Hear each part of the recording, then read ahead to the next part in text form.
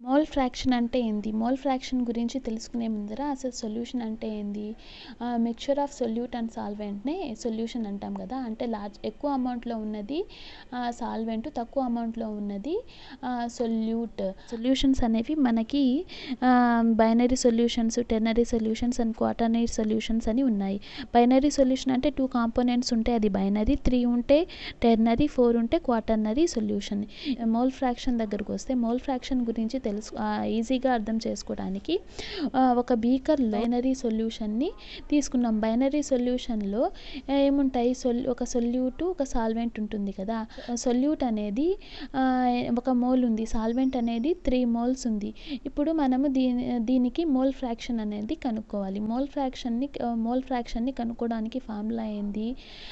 Number of moles of one component divided by total number of total number of moles of all the components in the solution అంటే ఇప్పుడు suppose ఇప్పుడు మనం solute యొక్క mole ఫ్రాక్షన్ని కనుక్కోవాలంటే first సొల్యూట్కి ఏ ఏ అని name ఇచ్చాము. So X A is equal to number of moles of solute divided by number of moles of solute plus number of moles of solvent ఇక్కడ ఎన్ని moles ఇచ్చాము? సొల్యూట్ వన్ ఇచ్చాము కదా one total ఎంత? One plus three is equal to four value ఎంత వచ్చింది? Point two five ఇప్పుడు mole fraction of సాల్వెంట్ని కనుక్కోవాలి. ఫార్ములా ఏంది? Number of moles of solvent divided by to total moles. Total moles ఏంటి number of moles of solute plus number of moles of solvent. ఇప్పుడు number of moles of solvent ఎంత? Three కదా? Plus total moles ఎంత? One plus three is equal to four. Value ఎంత వచ్చింది point seven five. అంటే ఇప్పుడు ఈ రెండింటిని కంబైన్ చేస్తే మనకి వాల్యూ ఏమొస్తుంది? వన్ వస్తుంది. అంటే zero point two five plus zero point seven five is equal to ఎంత వాల్యూ వన్ వచ్చింది.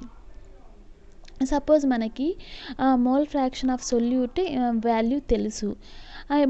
అంటే మోల్ ఫ్రాక్షన్ ఆఫ్ సాల్వెంట్ కనుక్కోవాలి. అంటే ఇప్పుడు ఏం చేయొచ్చు? X P is equal to one minus X A ఇప్పుడు ఎక్స్ఏని ఎక్స్బీని కంబైన్ చేస్తే వాల్యూ వన్నే వస్తుంది కాబట్టి మనము ఈ డైరెక్ట్గా ఒకటి ఒక వాల్యూ తెలిస్తే ఇంకొక వాల్యూని ఈ ఫార్ములాతో ఈజీగా కనుక్కోవచ్చు.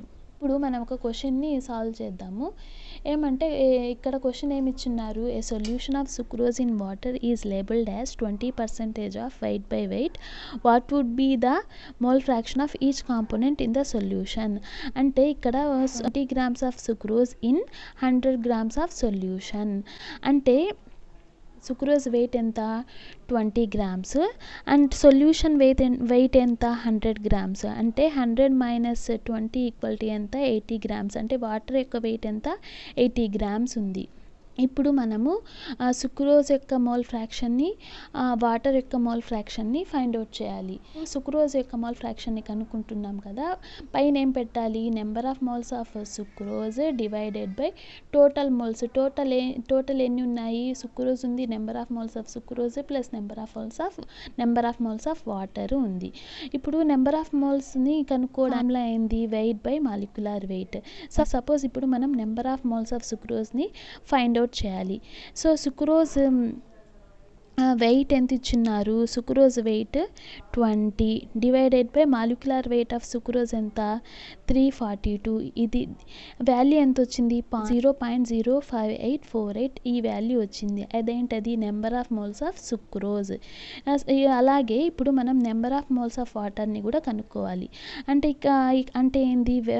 వాటర్ యొక్క వెయిట్ ఎంత ఇచ్చిన్నారు? ఎయిటీ కదా? Eighty divided by molecular weight molecular weight of వాటర్కి మాలిక్యులర్ వెయిట్ ఎంత? సిక్స్టీన్ ప్లస్ టూ ఎంత? ఎయిటీన్ కదా. సో వాల్యూ ఎంత వచ్చింది four point four five value. ఇదేంటి? Number of moles of water. ఇప్పుడు మనము మోల్ ఫ్రాక్షన్ ఆఫ్ సుక్రోజ్ని ఫైండ్ అవుట్ చేయాలి. అంటే ఏంటి? Number of moles of sucrose value ఎంత? Zero point zero five eight four eight divided by number of moles of sucrose.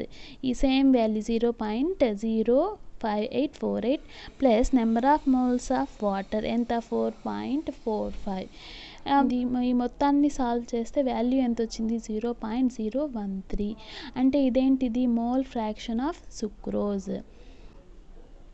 ఇప్పుడు మనకి మోల్ ఫ్రాక్షన్ ఆఫ్ సుక్రోజ్ తెలిసింది కదా. ఇప్పుడు మోల్ ఫ్రాక్షన్ ఆఫ్ వాటర్ని కనుక్కోవాలి. సుక్రోజ్ యొక్క మోల్ ఫ్రాక్షన్ని వాటర్ యొక్క మోల్ ఫ్రాక్షన్ని కంబైన్ చేస్తే మనకి వాల్యూ ఆల్వేస్ వన్నే వస్తుంది కాబట్టి మనం ఏం చేయొచ్చు? సపోజ్ దీన్ని ఎక్స్ఏ అనుకుంటే ఇప్పుడు మనం ఎక్స్బీని క్యాలిక్యులేట్ చేయాలంటే కాబట్టి ఫార్ములా అయింది X B is equal to one minus X A అంటే ఇప్పుడు వన్ మైనస్ ఎక్స్ఏ కదా. ఇప్పుడు ఎక్స్బీ అంటే ఏంటి?